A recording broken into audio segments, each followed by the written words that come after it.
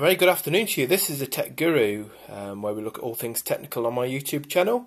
Today we're going to be looking at the Now TV box. Now we've already got one of these in the family, but what we've got today is uh, a new one because we want sort of something the children can watch their sort of programs on. So what I'm going to do is I'm just going to sort of talk a little about what's in the box um, and really what sort of how easy it is to set up. Dead straightforward. So I'll sort of now go on to demonstrate that. So, firstly, this is the uh, the actual Now TV box. Very compact, as you can see. On the side, it has a HDMI port, so that's really useful. And then on the back, um, you can see an HDMI port, which is sort of uh, right on the back of the uh, the uh, Now TV box. You've also got an Ethernet LAN uh, local area network cable input there, and you've also got the uh, the power lead.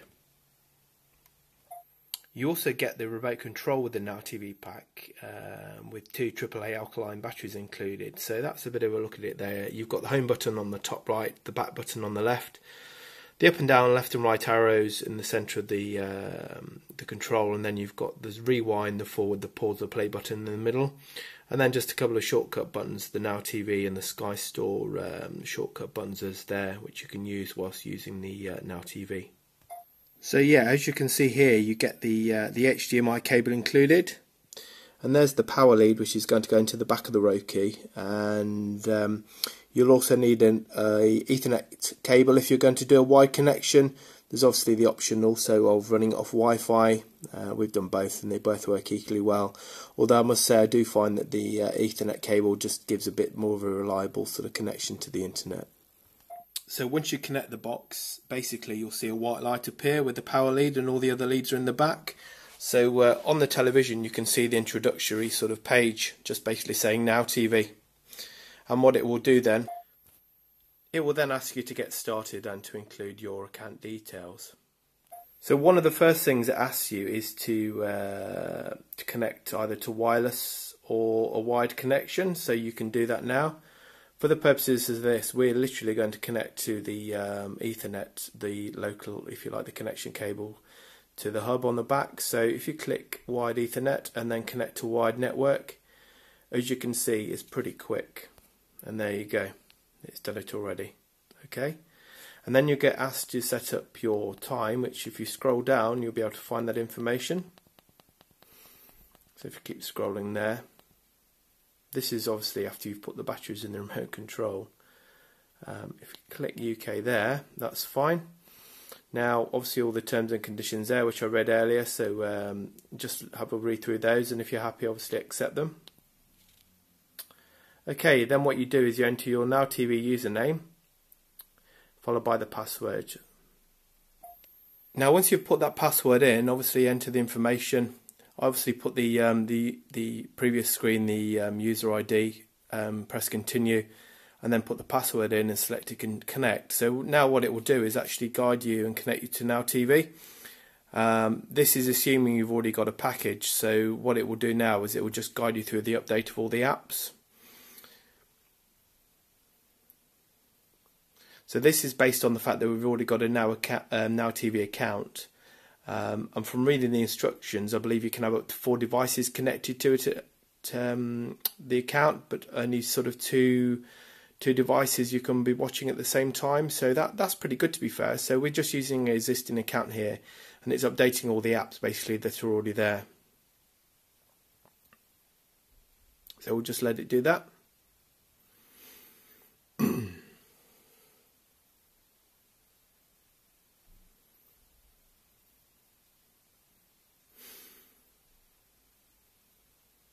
And as you can see it's pretty quick. Um, we're using a fiber connection here which is about 50 megabytes um, per second. So it's going to be pretty quick. So this will obviously also depend on your uh, the speed of your internet. And sorry I did actually add a few more apps sort of recently. So there's about four more to go. So if we just let it run through that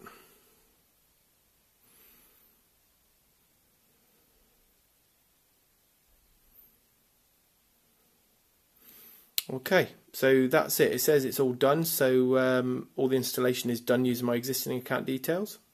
And that's it. Basically, what it does is it then brings up the um, after you've signed in the information. So you've got a home screen which shows you the highlights, um, different programs, um, which is a combination of um, Sky programs like ABC Studio, Sky Living, um, Nat Geo Wild, BBC One, ITV, etc., Sky Atlantic.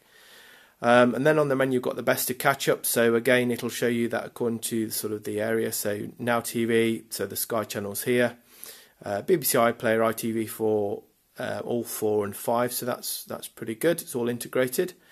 Um, my apps, you can actually choose those here.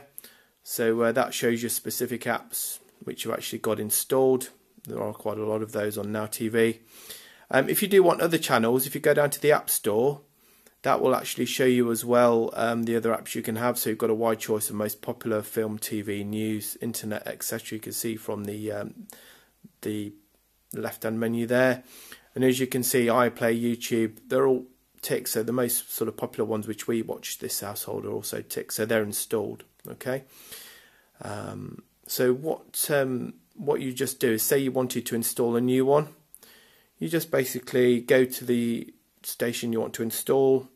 If you click OK, um, if you add an app, and it's as simple as that. Now you may set up a password as well, or a PIN number, should I say, and um, it would ask you to add that before you sort of add the app. So we haven't got that at the moment. So basically, it's include sorry downloaded there. So just going to OK that, um, and as you'll see, it does appear on your App Store page and it does it in order. Okay.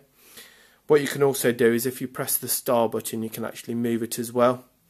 So um, press star, click OK, and then say we wanted, if we're going to be using TuneIn all the time, for example, we could move it so it's um, towards the top, and we can move it back down, etc. So, uh, and then just OK and that leaves it there. So that's fine. I do apologise about the background noise today. Sorry about that.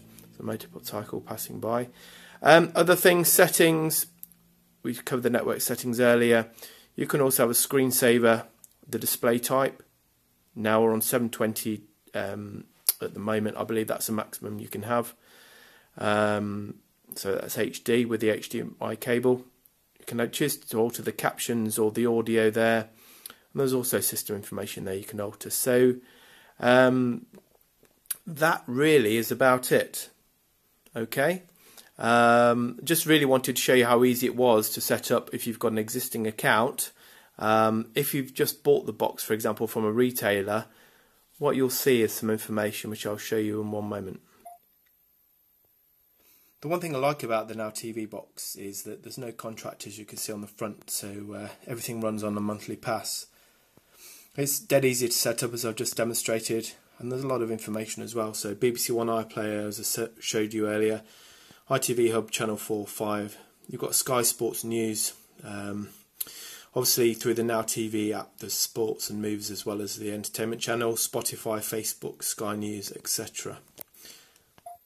On the actual box set, the box actually comes with the Now TV. It also tells you what's inside. So the actual Now TV box, the remote control, the batteries for the remote control, HDMI cable, power cable, um, Let's Get Watching Guide, obviously depending on what you buy. We bought one including a three month entertainment pass, but there are other ones available.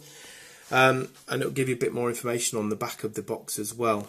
Um, and one other good thing is, with the lack of instructions nowadays, sometimes it's useful to have them. So um, there is a quick start guide on what you'll need, how to get started, and also getting online and signing in. So that's that's useful as well.